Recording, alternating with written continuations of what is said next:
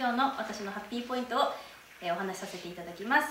朝からちょっと雨が降っていて今日は外で残念ながらあの遊ぶことができなかったんですが今日はおにぎりお弁当ということでやはり子どもたちもあのとても楽しみにしている日でして、えーお部屋で今日はおにぎり何々持ってきたんだなんていう話をしてあの楽しくお話できたことが、えまず一つの私のハッピーポイントです。でえーお部屋で遊んでいる時に今日はいろんなクラスのお友達、えー年少さんですねつくしさんバラさんすみれさんでバラバラになって、えー各お部屋でこう 3, 三等分？3分割して、えー遊んでいたんですがその中でこう私も子どもたちの中に入って、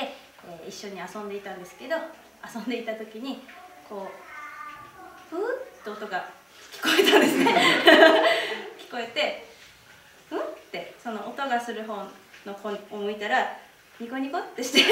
「今って何の音?」って聞いたら「カエルが鳴いたんだよ」っていう「カエルが鳴いたんだよ」って言って「えー、こんなところにカエルなんかいたかな?」なんて言ってたら「うんなんかねさっきねそこで飛んでたんだよね」みたいななんか話をしてて「あーカエルさんいたんだね」なんて話してたらまた「ふー」みたいな